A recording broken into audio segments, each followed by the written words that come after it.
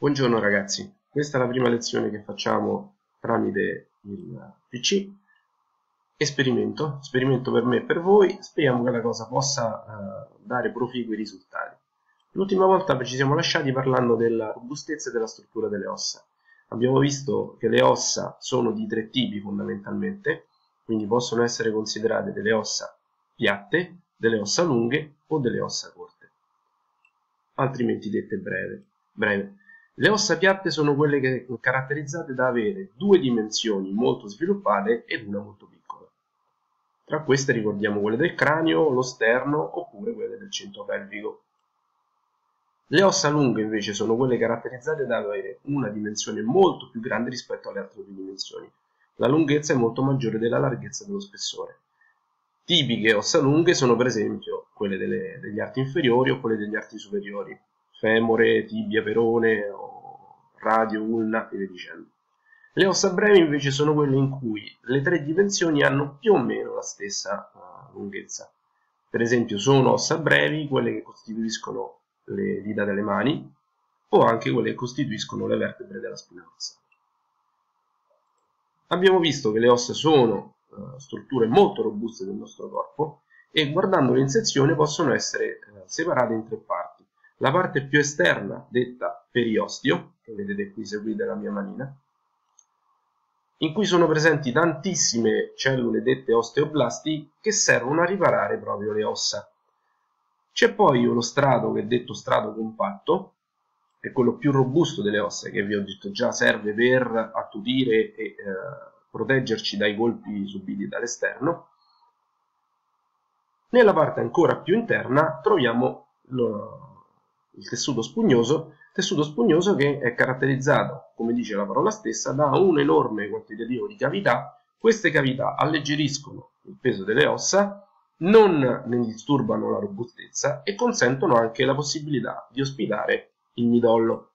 Il midollo che abbiamo detto può essere all'interno delle ossa di due tipi, o il midollo rosso o il midollo giallo. Il midollo rosso è prevalentemente presente all'interno delle ossa piatte, serve a produrre le cellule del sangue, piastrine, globuli rossi e globuli bianchi, mentre il midollo giallo è contenuto prevalentemente all'interno delle ossa lunghe.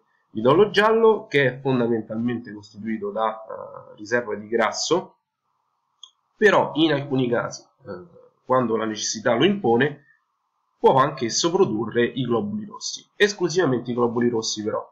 Piastrine e globuli bianchi sono deputati esclusivamente al midollo rosso.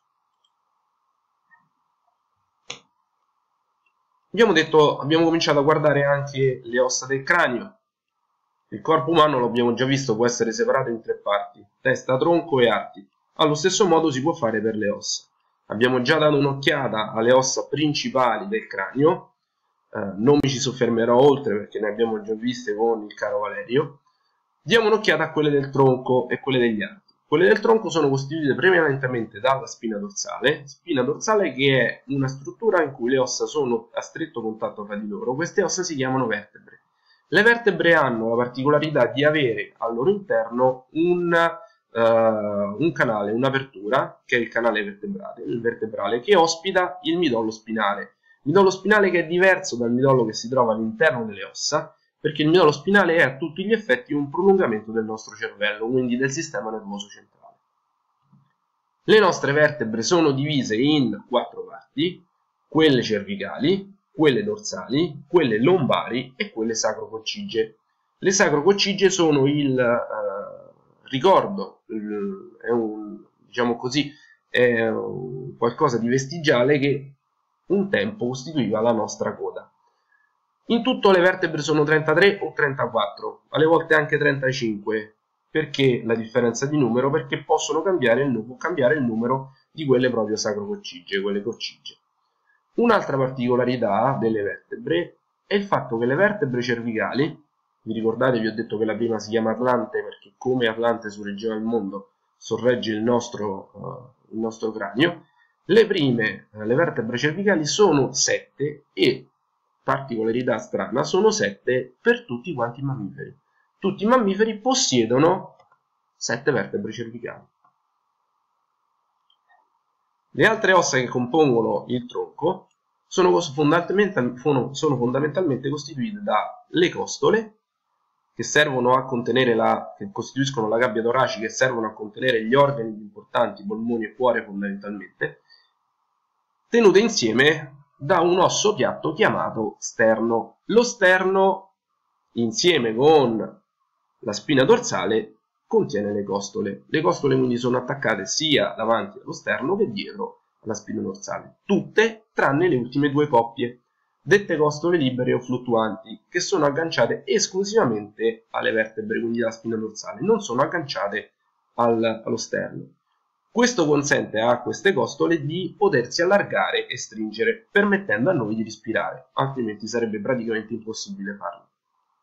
Le ossa degli arti le abbiamo già viste, sono costituite da clavicola e scapola gli arti superiori, eh, il braccio costituito dall'omero, avambraccio radio ulna e poi carpo, metacarpo e falange. Stesso discorso per le ossa degli arti inferiori, ossa dell'anca costituite dalla fusione di tre ossa diverse che sono ilio, ischio e pube, femore, che è l'osso più lungo di tutto il corpo umano, la rotula, che è quest'osso che è presente nel ginocchio, che serve ad impedire al nostro, uh, alla nostra gamba di andare oltre una certa estensione. Serve proprio da impedimento, da cerniera, Ricordiamoci questa parola perché fra un po' la rincontreremo.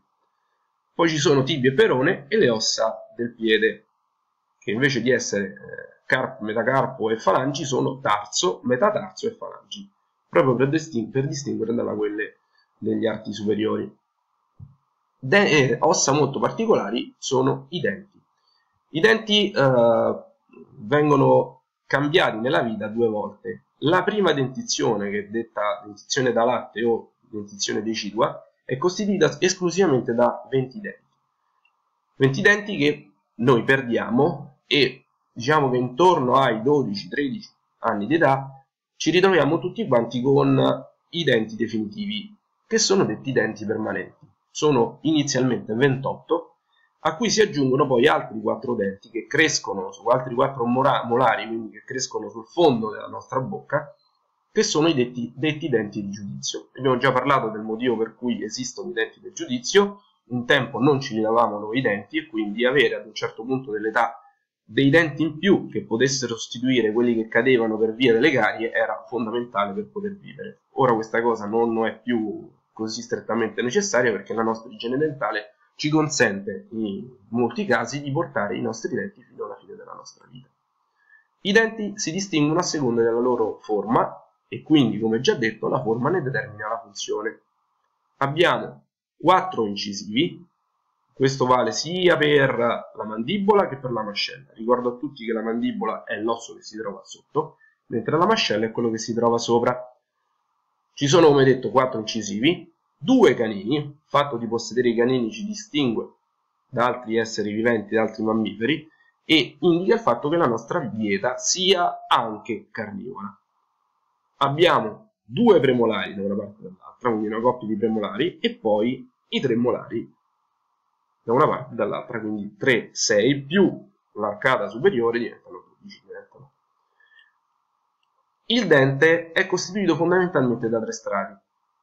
Tre strati andando dall'esterno verso l'interno e da tre parti andando dalla parte alta verso il basso. Guardando dalla parte, eh, dall'alto verso il basso abbiamo la, la, parte che si vede, che è detta corona dentale, poi c'è la parte in cui la, il nostro dente si unisce alla gengiva, che è detta colletto, e poi la parte interna che noi non vediamo, che è costituita dalla radice del dente, che è la parte che si inserisce nell'osso eh, del cranio, ossa mascellari o mandibolari. Facendone una sezione invece dall'esterno verso l'interno, noi abbiamo lo smalto, abbiamo la parte interna che è costituita da una sostanza che si chiama dentina, al cui interno c'è la polpa, dove ci sono i vasi sanguigni e soprattutto i nervi. Lo smalto è a tutti gli effetti la parte più dura di tutto il nostro corpo ed è per questo che è stata, viene utilizzata proprio per i denti. Abbiamo parlato anche delle articolazioni, abbiamo detto che le articolazioni si dividono in tre tipologie quelle che sono mobili, le semimobili e quelle che invece sono fisse. All'interno di quelle mobili esistono diversi tipi di articolazioni. Perché per esempio l'articolazione del ginocchio, come detto in precedenza, è un'articolazione detta cerniera.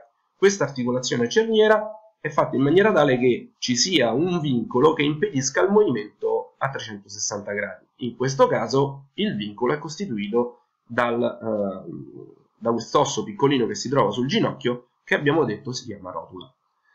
Le articolazioni sferiche, come per esempio quella della spalla o quella dell'anca, consentono un movimento ampissimo. Le articolazioni semimobili sono invece quelle in cui la mobilità di un osso rispetto all'altro è molto limitata quelle delle dita dei piedi per esempio o quelle delle, delle vertebre della nostra spina dorsale. Le articolazioni fisse invece sono le articolazioni in cui non c'è più possibilità di movimento. In questo caso le articolazioni prendono il nome di suture. Classiche suture sono quelle del cranio, ma anche quelle delle anche, abbiamo detto sono, eh, diciamo così, consolidate tra di loro.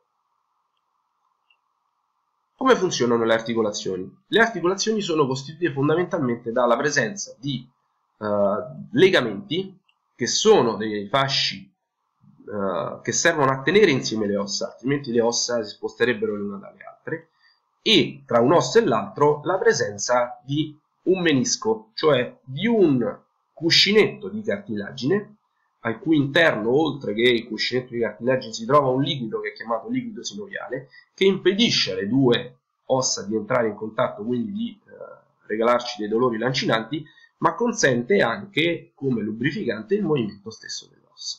Quindi, che impediscono alle ossa di spostarsi le une dalle altre, abbiamo i legamenti, e che invece consentono il movimento senza dolore, abbiamo i menischi, cioè questi quantitativi di cartilagine uniti al liquido sinoviale che consente il movimento delle ossa.